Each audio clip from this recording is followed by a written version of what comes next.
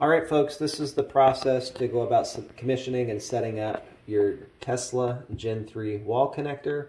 The wall connector needs to be in commissioning mode, which is evidenced by this blinking light. If your electrician has come and already set it up and has since gone, and you're now coming back at the end of the day, you can go down to your breaker, turn your breaker off, wait uh, a few seconds, turn it back on, in which case all the bars will light up, and then this blinking light will light up. Or you can pull the handle out and you press and hold the button for about set, uh, 5 to 10 seconds, in which case uh, all the bars will light up and we'll go into this mode. What this does is turns the Wi-Fi on inside the Tesla wall connector.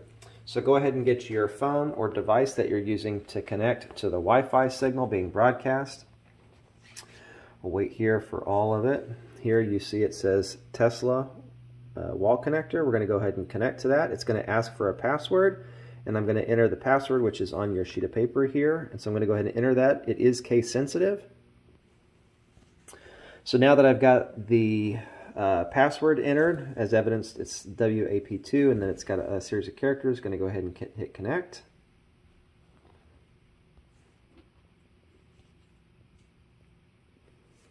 So it says checking quality of internet connection. So here is the key where a lot of people get messed up. Internet may be available, connect only this time, always connect to Wi-Fi, or disconnect. So in this case, you want to hit always connect because what your phone's going to try to do is try to switch back to the other um, to the other Wi-Fi in your house or to your cellular that is set up. So now that we've got that set up, it gives you the Wi-Fi address, which we're going to go ahead and put in. Uh, you can either do it by scanning this QR code or you can enter the address. So I'm going to go ahead and enter that in my browser and we'll get that set up. So now I'm going to go ahead and enter in the uh, IP address for the Tesla wall connector. We'll wait for it to connect.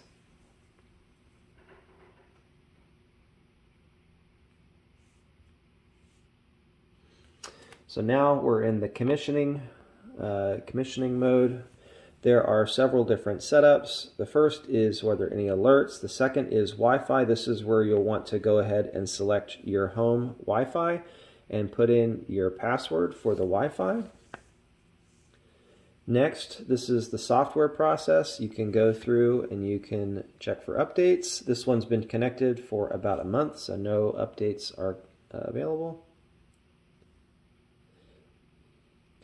This is also where you set up what sort of breaker you have. In this case, I have a 60 amp breaker, but you can adjust it to whatever you want.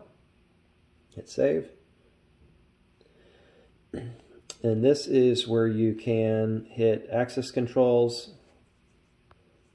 You can do all vehicles, only Tesla or only authorized Teslas. So if you have your Tesla charger outside and you don't want your neighbors to mooch off your electricity. And then power sharing. This is the thing that really the Gen 3 is good for. You It uses the Wi-Fi to load balance. Right now I only have one Tesla wall connector so there's really nothing, but if you wanted to enable that, you'd hit enabled network share, and then it would load balance so you could plug in two Tesla wall connectors on the same 60 amp circuit uh, in your house without blowing the breaker, and it would load balance uh, those things using the Wi-Fi of the connectors.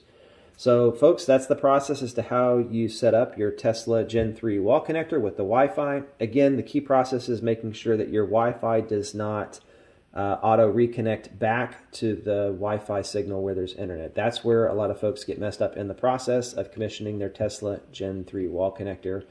Uh, hit a thumbs up or a like and uh, shoot, uh, put any questions down below in the comments. Thank you so much for watching. Have a good one.